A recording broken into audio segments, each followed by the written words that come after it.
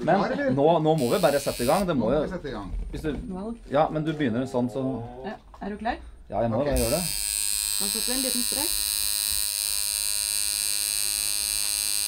Å, nå er jeg, nå er jeg letta. Nå er jeg letta. er det ikke vondere enn det her?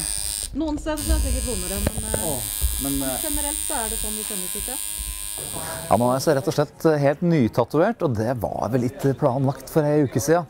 Eh, Det hele begynte med at jeg Altså, vi er jo en sånn showgruppe på Toten som, eh, hvor det har gått litt sånn sport i å, å vedde tatoveringer. Så ei som er i gjengen vår, har liksom måttet ta en diger ku på ene sida, og ordføreren på Toten har måttet ta en tatovering av kommunevåpenet, og jeg tapte da og måtte ta en ørn på brystet. Og så har jeg liksom jeg prøvd å skyve litt på denne, eh, dette veddemålet, så folk skulle glemme det. Og så plutselig kom det opp i sendingen da, til Mikael forrige uke, og da måtte jeg til pers. Og det er så komisk, for det er så lenge siden at jeg har til og med glemt hva jeg tatoverte, eller hva jeg vedda om, da. Men jeg tror det var antall publikummere som skulle komme et år, da.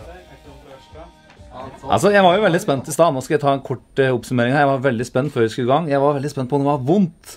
Uh, og jeg ble veldig be beroliget når jeg kjente at dette er ikke så gærent. Uh, og så beveger vi oss nærmere og nærmere innover midten på brystet, og da er det litt grann vondere. Ja. Men det er jo så mange som har tatoveringer, så jeg skal ikke Altså, jeg, jeg anser meg sjøl sånn medium tøff, kanskje. Akkurat som folk flest.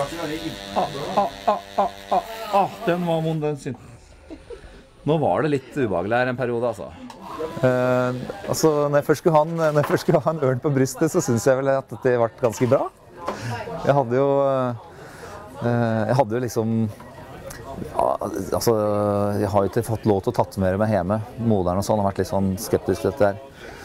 Så når jeg først skulle gjøre det nå, så nå var jeg gammel nok, så da er det greit. En liten ørn, det, det er bare Det har en morsom historie her òg. Der, alle ser på her. Der.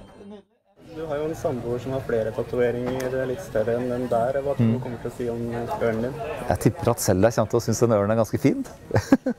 Hun, hun, var, hun var vel litt sånn skeptisk på mine vegne, rett og slett fordi at jeg, jeg ønska meg ikke noen tatovering, da. Men um, får vi se, da. Kanskje det baller på seg. Jeg tror det blir flere nå. Jeg har, det er én ting jeg har hatt lyst til å tatovere noen år, som jeg kanskje da uh, Når jeg først er i gang, kan hende jeg tar en til. Vi får se. Nå skal jeg bare la den gro litt først. Hva er det du skal tatovere da? Det, um, det må jeg komme tilbake til.